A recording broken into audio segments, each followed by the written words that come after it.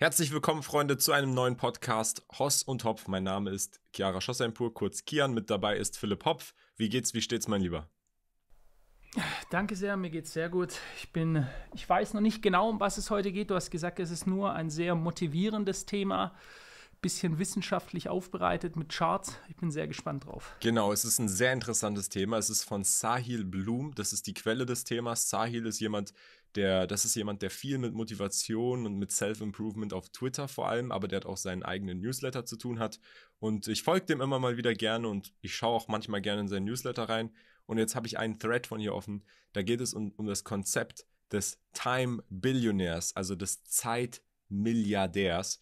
Und äh, ich kann da jetzt gerade mal visuell für die Leute, die jetzt den Podcast auf YouTube schauen, das einblenden, dieses Titelbild, äh, wo man sieht, was hier ein, eine Person, die durch sein Leben durchläuft, quasi bis zum Grab, von der Geburt bis zum Grab, was da passiert. Und dann würde ich sagen, fangen wir einfach mal an. Wir haben viele interessante Charts heute. Das ist wirklich ein sehr, sehr wichtiges Thema. Er selber sagt, dieses Konzept hat sein Leben verändert. Das sind die Worte von jemandem, der sich die ganze Zeit mit solchen Konzepten beschäftigt. Deswegen besonders interessant und deswegen habe ich es mir auch angeschaut. Und ich lese einfach mal vor. Der Begriff Zeitmilliardär wurde vom Investor Graham Duncan geprägt und der sagt ein Zitat, eine Milliarde Sekunden sind etwas mehr als 31 Jahre.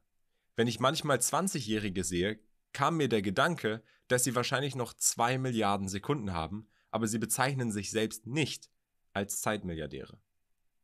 Das ist doch schon mal interessant, um reinzustarten, oder Philipp? Wie, wie siehst du das, mhm. bevor ich jetzt hier weitermache? Was glaubst du, worum geht's? Ja, das ist ja die äh, wahrscheinlich eine Frage der Achtsamkeit. Wie gehe ich mit meiner Zeit um? Das sollte eines der wichtigsten Dinge sein, die einem aber erst in den allermeisten Fällen klar wird, wenn man älter ist. Dir vielleicht schon etwas früher, aber meistens spürt man, je älter man wird, wie schneller die Zeit vorbeigeht. Und dann sagt man jetzt auch, dass wenn man ein Kind hat und sieht, wie schnell dieses Kind wächst, wird einem noch klarer, wie krass schnell die Tage einfach nur vorbeirasen an einem. Deswegen ist Time Management und, und die Bedeutung von Zeit extrem wichtig. Genau, und das ist auch der Punkt. Zeit ist unser wertvollstes Gut. Wenn man jung ist, ist man im wahrsten Sinne des Wortes ein Zeitmilliardär. Man ist reich an Zeit. Mhm. Und zu viele Menschen erkennen den Wert dieses Vermögenswerts erst an, wenn er nicht mehr vorhanden ist. Und äh, deswegen sollte man es als ultimative Währung betrachten. Sie ist alles, was man hat und was man nie zurückbekommen kann. Zumindest aktuell noch nicht. Wir können noch nicht das Altern stoppen. Hoffentlich in 20 Jahren. Mal sehen, was sich da tut. Aber gut, kommen wir zum ersten, zum ersten Chart, der hier ist. Der ist von Wait But Why. Der hat nämlich einen Lebenskalender, der das Leben in Wochen unterteilt und jede Zeile, das ist jetzt hier auch eingeblendet, repräsentiert ein Jahr. Und mit der Geburt seines Sohnes, hier berichtet Zeil selber, im Mai 2022 begann er dann verstärkt darüber nachzudenken. Es ist jetzt fast ein Jahr her. Und wie das Sprichwort sagt, die Tage sind lang, aber die Jahre sind kurz. Und dieser Kalender, das ist sehr, sehr interessant, den sollte man sich vielleicht auch ausdrucken zulegen. 90 Jahre in Wochen. Und man kann dann jede Woche einzeln abhaken und dann merkt man vielleicht, wenn man mhm. das macht, wie schnell die Zeit eigentlich vergeht und bekommt ein besseres Verständnis ja. dafür. Den, gibt's, ich glaube, den gibt es sogar auf Amazon zu kaufen, diesen Kalender. Keine Werbung. Das ist wirklich eine, genau. keine Werbung. Ähm, ich, ich, glaube auch, also man kann schauen, da gibt es sicher auch andere Anbieter. Ähm, der, der, der Lebenskalender in Wochen, das ist schon, also wenn man auch in unterschiedliche Religionen äh, geht, beispielsweise im Buddhismus, dort wird sehr auf Achtsamkeit Wert gelegt.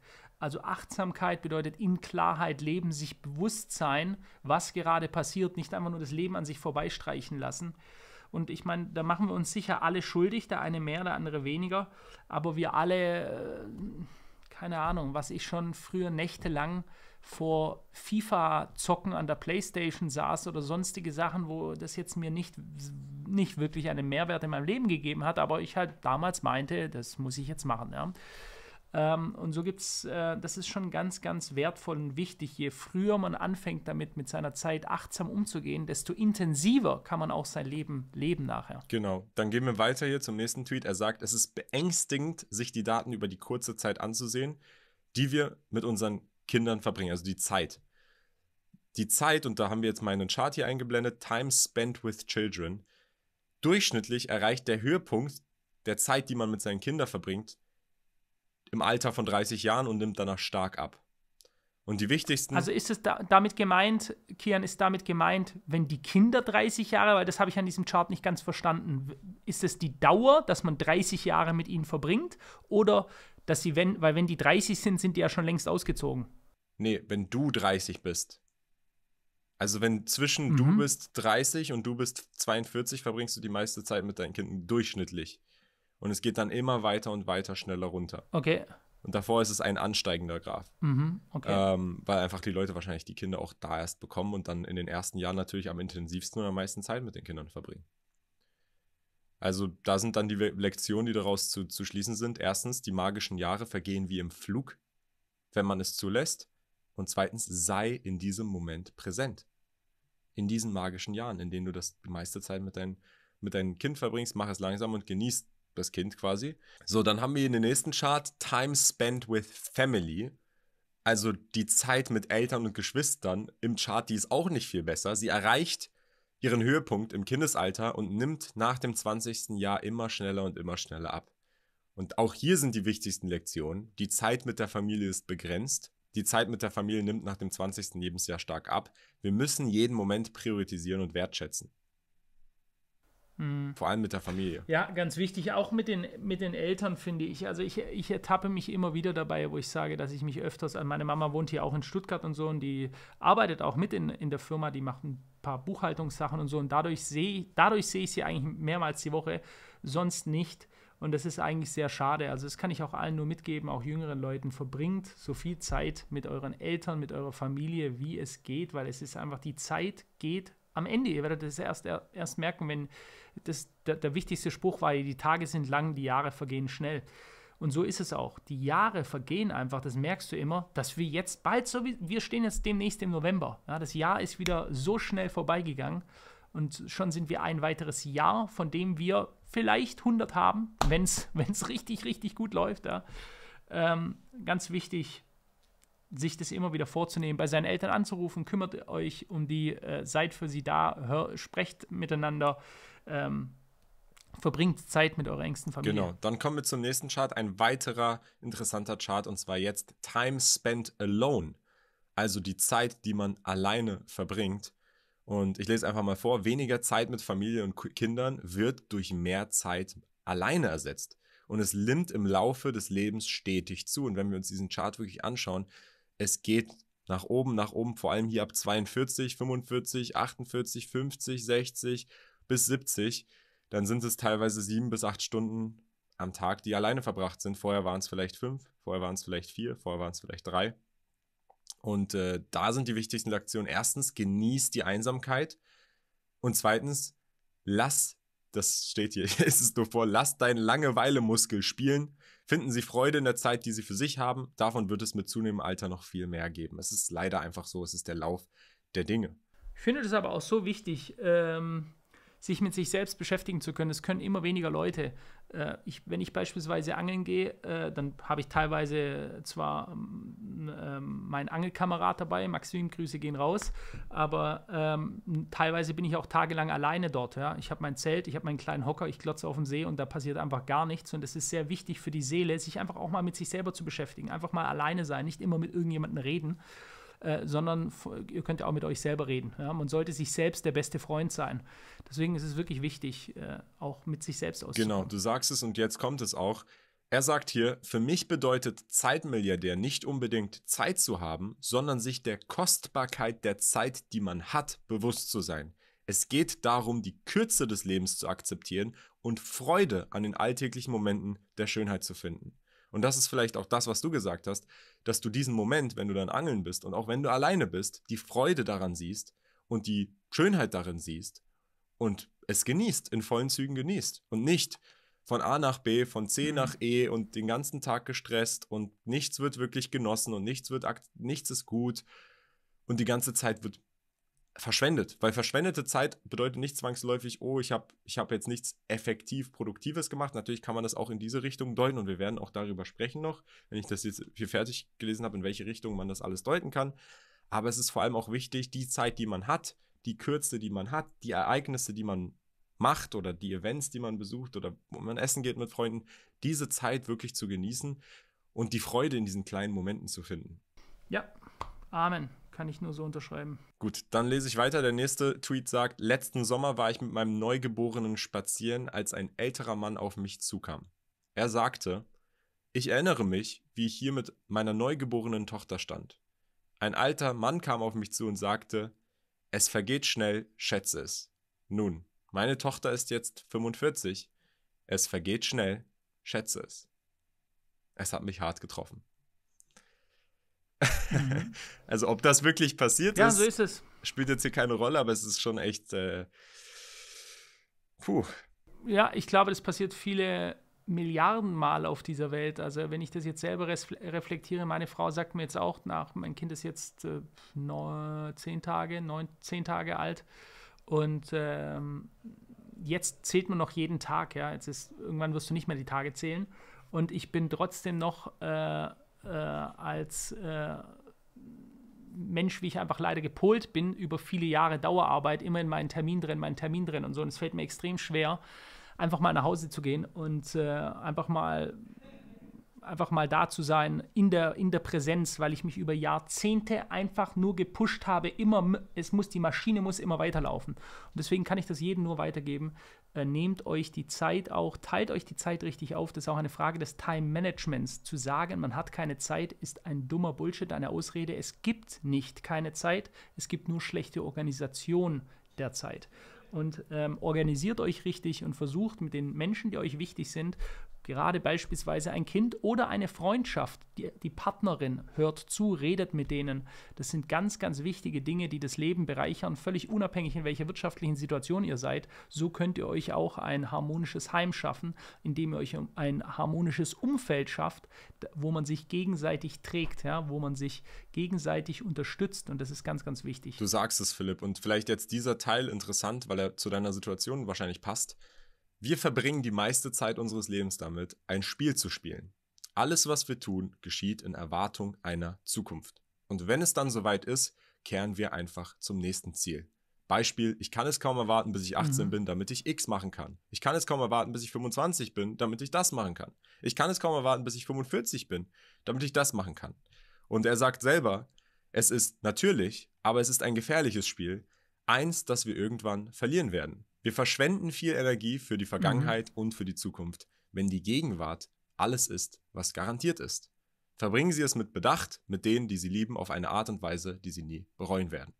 Und das ist jetzt hier vielleicht auch nochmal wichtig. Ja. Natürlich gibt es hier keine richtigen Antworten. Niemand kann dir sagen, was Sie über die Zeit denken sollten. Ich versuche nur Einblicke zu geben, wie man über die Zeit denken sollte. Alle wichtigen Reisen im Leben beginnen damit, die richtigen Fragen zu stellen. Das ist ein guter Anfang. Mhm. Ja, das ist äh, ganz äh, tiefgründig und wichtig äh, und etwas, wo sich jeder selber reflektieren muss. Und ich denke, das ist auch etwas, wo ich, ich weiß nicht, welche Leute das da äh, wirklich ähm, zu, zu, auch nur halbwegs ausnutzen, weil auch wenn man bei uns immer sagt, oh, ihr seid erfolgreich und bla bla bla, ich weiß nicht, ob ich so ein erfolgreicher Mensch bin, ähm, wenn es darum geht, äh, Zeit im Privatleben zu verbringen. Ja, das, das weiß ich nicht, ähm, weil ich habe schon mich selber konditioniert immer und meine Glaubenssätze waren, wenn ich sie mir auch vor 10, 12, 13 Jahren lese, immer, ich bin eine Maschine, ich bin eine Maschine, ich setze meine Ziele um. Und genau das, was du gerade gesagt hast, Ziel umsetzen, nächstes Ziel. Ja, es, ich, und, und wir, ich zelebriere das auch gar nicht groß, auch in der Firma wenn andere, keine Ahnung, da machen die Champagnerflaschen auf oder so, bei uns ist einfach Ziel erreicht, dann ist kurz super gemacht, super gemacht, alles klar weiter, bumm, sofort. Das ist einfach next. Ja. Das ist eine Art, die, die bringt Vorteile. Du verhasst nicht so lange, du gehst direkt weiter, du bist dadurch ein krasser High-Performer. Aber auf der anderen Seite, diese Momente ziehen einfach nur vorbei, ja, und du, der, der Weg ist da wirklich das Ziel gewesen, weil du hast auf dem Weg dorthin, was weiß ich, 3000 Kunden, 4, 5000, 6000, 7000 Kunden, dann ist erreicht, bumm, und dann ist sofort wieder das nächste Ziel. Du hast also gar keinen gar keine Zeit mehr oder du nimmst sie dir nicht mehr, um diesen, diesen Moment auszukosten, äh, sondern du bist sehr in diesem, in diesem Rad des, des Erfolges. Und deswegen gibt es ja auch Leute, die Frage ist ja berechtigt, warum hat einer 8 Milliarden, 10, 15, 20 und pusht trotzdem noch weiter? Das geht ja schon lange nicht mehr ums Geld. Ja, der ist in diesem Rad drin, das immer weiter, dieses Spiel, das er immer weiter spielen muss. Das ist noch mehr, noch mehr, noch mehr. Und ich weiß nicht, ob das die große Erfüllung am Ende bringt. Ähm, ja, das, das muss da selber jeder selbst entscheiden. Das ist sehr, sehr wichtig, dass du es sagst. Nochmal das Zitat, was für mich hier äh, am entscheidendsten war, und du hast es, wir haben es jetzt öfter schon gesagt, aber die Tage sind lang, Jahre sind kurz. Merkt euch das wirklich, es ist sehr, sehr wichtig. Und du hast es gerade gesagt, die Person, die vielleicht die meisten Ambitionen hat, ist nicht zwangsläufig die, die am glücklichsten ist, weil die Person mit dem größten Strandhaus in Malibu oder in LA oder wo auch immer, die musste einiges tun, um da hinzukommen. Und die ist auch wahrscheinlich nicht die Person, die dieses Haus am meisten genießt, sondern es sind seine Kinder, es ist seine Familie, es sind seine Freunde er selbst musste ja einiges tun, um dorthin zu kommen und hat seinen Kopf auf eine gewisse Weise gestrickt. Er hat sein Leben auf eine gewisse Weise gestrickt, die es ihm jetzt auch nicht mehr erlaubt, dann da einfach zu sitzen und zu hören. Aber jetzt habe ich ja das Ziel erreicht. Jetzt ist alles gut. Jetzt setze ich mich zur Ruhe.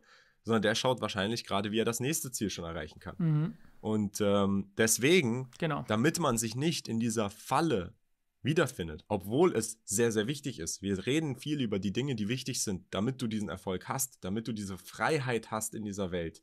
Für deine Kinder, für deine Familie ist es genauso wichtig, das Gegengewicht zu dem Ganzen, sich darüber bewusst zu sein, die Zeit, die man hat, wirklich zu genießen. Weil am Ende des Tages, egal wie viel Geld du hast, egal wie viele materiellen Dinge du hast und egal wie viel du dir aufgebaut hast, wenn du durchweg und durchweg nicht erfüllt und glücklich warst, dann hat jemand anderes, der nie diesen Weg gegangen ist, der vielleicht frisch seine Familie hat, einen sehr simplen Job hat und einfach nur das gelebt hat, in dem einfachen Moment, jeden einfachen Moment genossen hat, dann hat der vielleicht ein insgesamt erfolgreiches Leben am Ende. Egal, ob du als Milliardär gestorben bist. Aber war mhm. dein Leben dann wirklich ein erfolgreiches Leben?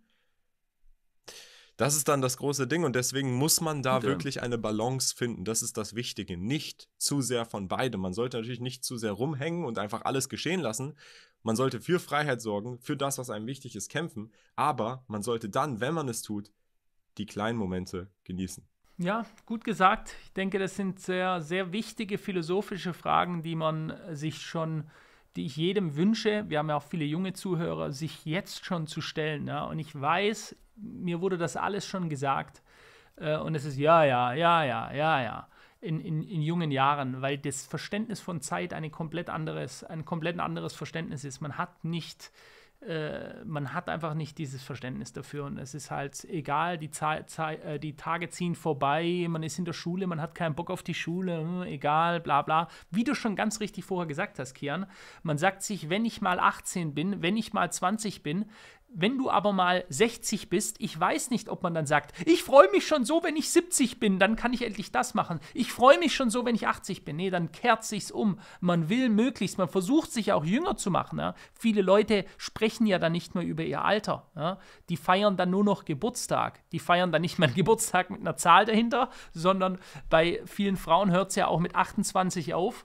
Äh, und dann sind sie einfach immer nur noch weiter 28. Also das ist jetzt so als, als äh, symbolisch gesagt. Man merkt da dieser Wandel von der vom mehrfachen Zeitmilliardär, äh, der, der in die Zukunft schaut und älter sein will, weil er denkt, dass er dann irgendwelche anderen Freiheiten hat und dann wechselt sich das blitzschnell irgendwann und du sagst dir, boah, jetzt bin ich schon, äh, also nächstes Jahr werde ich schon 40, oh, boah, was ist, mit was ist das zu, äh, verbunden, ja? Und dann dreht sich das ganz schnell. Deswegen Carpe Diem. Ich denke, damit kann es äh, bezeichnet werden. Nutze den Tag. Ja.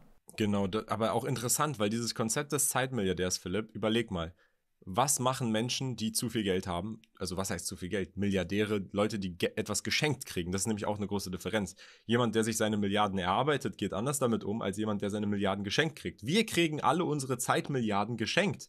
Und wir wissen meistens erst ganz spät, was das bedeutet und welchen Wert das eigentlich hat. Ähnlich wie die Person, die seine Milliarden in Dollar Richtig. geschenkt kriegt. Die verschwendet sie nämlich erst, bis sie dann irgendwann ja. checkt, wenn sie immer weniger werden. Richtig. Oh, warte mal Vielleicht hätte ich sie nicht so verschwenden sollen. Vielleicht hätte sie für etwas Bedeutsames nutzen sollen. Und genau das Gleiche passiert ja. mit der Zeit. Die, die Parallelen sind wirklich extrem. Und der, der Zeitmilliardär, also der normale Milliardär, der im besten Falle, wenn er gut wirtschaftet, ist ja so mächtig, so groß, dass er alleine durch den Zinseszinseffekt immer reicher wird und immer noch reicher, noch reicher. Wenn wir uns die reichsten Listen in Deutschland anschauen, große Familien, keine Ahnung, Familie Quandt, Familie Albrecht, you name it, dann werden die durch ihre Dividenden, die sie aus den Unternehmen kriegen, die sind so reich, die können gar nicht verlieren, weil sie können das gar nicht mehr ausgeben. Aber der Zeitmilliardär ist am Anfang seines Lebens am vermögendsten und durch die vergangene Zeit wird er immer, wenn man so möchte, ärmer. Er verliert sein Zeitvermögen und dadurch geht er dann immer ressourcevoller damit um. Also in den meisten Fällen ältere Leute, äh, wenn ich jetzt meine Mama sehe, die äh, ist jetzt Ende 70 und die sitzt abend, abends da und schaut sich den Sonnenuntergang an und so und die, die, und die freut sich und die erzählt mir, wie schön die Sonne untergeht und die genießt es so. Und ich, ich erinnere mich immer, wie ich da daneben stand und habe mich gelangweilt und denke mir so, was glotzt die jetzt diese blöde Sonne an? Ja? Ähm, und genau das ist doch der Punkt. Die Zeit vergeht, du bist dir irgendwann bewusst, wie, viel, wie wenig Zeit du eigentlich nur noch hast, wie schnell sie verrinnt. Und äh, deswegen fängst du dann an, dich mehr festzuhalten und diese Zeit mehr zu genießen. Je, je früher wir in der Lage sind, das tun zu können, desto länger können wir von unserem Zeitkonto in unserem Leben erfüllt verbringen. Genau. Und jetzt hier vielleicht noch mal ein abschließend interessantes Zitat. Karl Sandburg sagt nämlich, Zeit ist das, was man aus dir macht. Und das unterstreicht einfach die Bedeutung, dass Zeit an sich ein neutraler Wert ist. Der Wert, der damit tatsächlich kommt, kommt erst durch die Aktivitäten und Absichten, wie man diese Zeit investiert, also wie man sie gestaltet. Das ist dann die Zeit. Nicht die Zeit an sich, die kann nämlich einfach passiv verstreichen, ohne dass man sie genießt. Und die kann in viele Wege aus deinen Händen rinnen oder sie kann eben in einer positiven Weise ausgegeben werden, wenn man so möchte. Und das ist vielleicht nochmal hier ganz wichtig. Ich muss eine Sache jetzt nochmal abschließend sagen, Philipp, weil zum Thema Zeit und unsere Zeit aktuell in unserem Leben, die ist ja dadurch beschränkt, dass wir alle irgendwann eines Alterstodes sterben. Wenn wir nicht vorher schon aus irgendeinem dümmeren Grund sterben. Aber die meisten Tode sind altersbedingt und krankheitsbedingt durch das Altern, Krebs oder andere altersbedingte Krankheiten wir haben natürlich auch andere Krankheiten, wir haben auch andere Viren, aber für die meisten dieser Viren, die sind nicht tödlich. Natürlich gibt es da auch Ausnahmen, aber der Großteil der Menschen stirbt altersbedingt und ist schon immer altersbedingt gestorben. Der Grund, warum das so ist, ist, weil wir Menschen oder die Menschheit als Gesellschaft an sich ist nur da, wo sie jetzt aktuell ist, weil wir gestorben sind in der Vergangenheit. Warum? Evolution. Der Grund, warum wir jetzt in Autos sitzen, der Grund, warum wir jetzt Hochhäuser haben, ist, weil wir uns als Mensch als Wesen immer weiter und weiter entwickelt haben in der Geschichte der Evolution. Und das ist nur möglich, wenn das Alte stirbt und das Neue lebt. Und dieser Zyklus, man kann es mit dem äh, Zyklus des Darwinismus, Evolutionstheorie, leichte Adaption über ja, Jahre hinweg, der hat uns dann von Affen zu Menschen gemacht. Und wichtig ist an dieser Stelle zu verstehen, dass der Grund, warum wir alle altern, weil das ist etwas, was ich mich gefragt habe, ich habe mich gefragt, und du kannst dich noch erinnern, vor Jahren schon, wir haben auch schon mal darüber gesprochen. Ich habe mich gefragt, warum altern wir eigentlich? Also der Körper ist bis 25 in der Lage, sich selber zu heilen, besser zu haben, bessere Haut, bessere Augen, alles ist gut, Haare. Und dann irgendwann ist er es plötzlich nicht mehr. Warum? Das macht doch keinen Sinn. Der weiß doch, wie es geht. Die DNA weiß doch, wie es funktioniert. Warum hört er dann irgendwann einfach auf? Und die Wahrheit ist, wenn man sich das Ganze anschaut, und da gibt es einen Harvard-Professor, der sich sehr, sehr viel damit beschäftigt, David Sinclair, für die, die ihn kennen, der bekommt auch jetzt immer mehr und immer mehr Popularität. Der hat nämlich äh, mit anderen Wissenschaftlern, das ist ja, die Wissenschaft ist ja immer eine große Community, wenn Findungen gemacht werden, dann passiert das global und dann arbeiten viele verschiedene Leute daran. Aber Aktuell kann man sagen, der Grund dafür ist, ist, dass wir Menschen eine biologische Uhr haben, die in uns tickt. Und diese Uhr hat ein Ablaufdatum. Und der Grund, warum sie ein Ablaufdatum hat, ist, weil wir als Rasse des Menschen, wir Menschen, sind nicht dafür da, als Individuen so lange zu leben, sondern wir sind als Individuen da, das große Ganze am Leben zu halten. Und wie machen wir das? Indem wir Kinder zeugen und dann sterben. Nicht indem wir als einzelnes Individuum so lange wie möglich überleben. Das ist der Grund, warum wir alle altern und warum wir sterben. Und das ist der Grund, warum das hinterlegt ist in dieser biologischen Uhr, in unserem Leben. Nun muss man sagen, hat das viele Vor- und Nachteile, aber die, die mich schon länger kennen, die, die ab und zu meinen Twitter verfolgen, die, die diesen Podcast schon lange verfolgen, wissen, dass ich persönlich der Meinung bin, wenn wir Menschen in der Lage sind, technologisch so weit zu sein, eigene künstliche Intelligenz zu haben, die Arbeit für uns erledigt, die Logik für uns erledigt, die besser und schneller denken kann, als wir es tun können, warum müssen wir uns dann immer noch mit dieser Krankheit des Alterns beschäftigen müssen? Warum können wir nicht ein längeres, gesünderes Leben haben? Das ist nämlich das Hauptziel. Ich möchte nicht, wenn ich 80 bin und 90 bin, die letzten 30 Jahre meines Lebens in einem Rollstuhl sitzen und nicht wirklich alles wahrnehmen können und genießen können, sondern ich würde gerne, wenn ich sterbe, in einem Zustand sterben, in dem ich auch da das Leben genossen habe und ich möchte auch, dass die Menschen, die mir persönlich wichtig sind, die ich liebe, nicht in diesen Zustand kommen, in dem sie nicht mal die Welt um sich herum wahrnehmen können, sondern dass sie in einem würdevollen Zustand sterben, einem Zustand, in dem es ihnen gut geht, ein Zustand, in dem sie das Leben gelebt haben.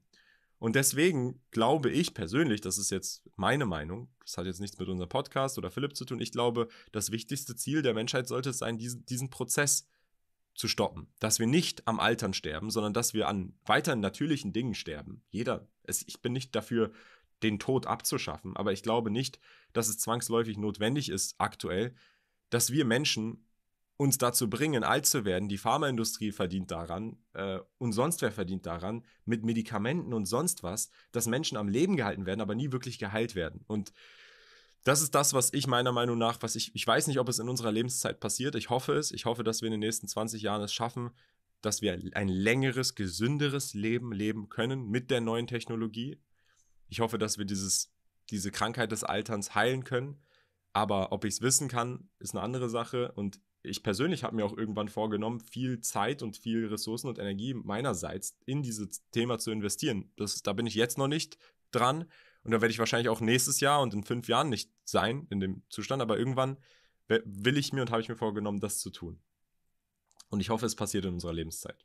Ja, Kian, das hast du ja mal ganz, ganz am Anfang, äh, in den ersten Folgen hatten wir darüber gesprochen, was so die äh, Lebensziele des Einzelnen sind. Und da hast du das mal erwähnt, dass du dich da dieser Sache widmen möchtest, äh, den Alterungsprozess aufzuhalten. Also das hast du ja auch gut erklärt. Es geht nicht darum, äh, die, die Lebenszeit oder den Tod aufzuhalten, wenn sowas überhaupt möglich ist, weil ich glaube, das ist auch, das ist wie so eine gottgegebene Sache. Wir haben, irgendwann ist die, Uhr, die Zeit abgelaufen. Es würde auch nicht funktionieren, wenn wir plötzlich alle 300 Jahre alt werden, dann würde dieser Planet einfach nur noch aus allen Nähten platzen, dann könnten wir uns übereinander äh, stapeln. Ähm, aber das finde ich ein sehr äh, heran wichtiges, wichtiges Ziel, möglichst die Lebenszeit, die wir haben, in hoher Vitalität zu verbringen und nicht äh, ja, an die Wand starrend in einem Bett in irgendeinem Altersheim oder so. Das finde ich also ein sehr hehres, gutes Ziel. Ja, sehr genau, interessant. Genau, ich würde sagen, wir haben alles besprochen, Freunde. Wenn euch der Podcast gefallen hat, würden wir uns über eure Unterstützung freuen. Natürlich alles immer kostenfrei. Wenn euch dieses Thema nochmal interessiert, in Depth, wenn, wenn ihr wollt, dass wir da vielleicht einen separaten Podcast zu machen, zum Altern oder wie ich das sehe, warum ich das so sehe, weil es geht noch viel tiefer.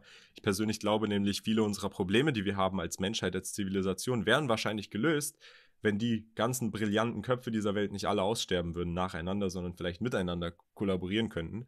Aber das ist wie gesagt ein ganz großes anderes Thema. Wenn ihr daran Interesse habt, können wir vielleicht mal einen separaten Podcast zu machen. Ähm, ich habe da wirklich viel zu reden.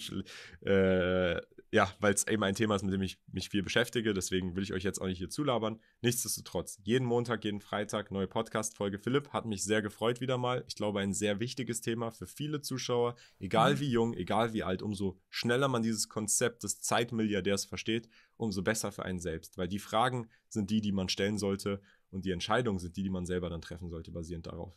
Absolut richtig. Danke sehr, war sehr interessant. Schreibt eure Fragen rein, die ihr habt, äh, in die Kommentare und wir nehmen sie demnächst wieder genau. auf. Bis dann, das war's. Ciao.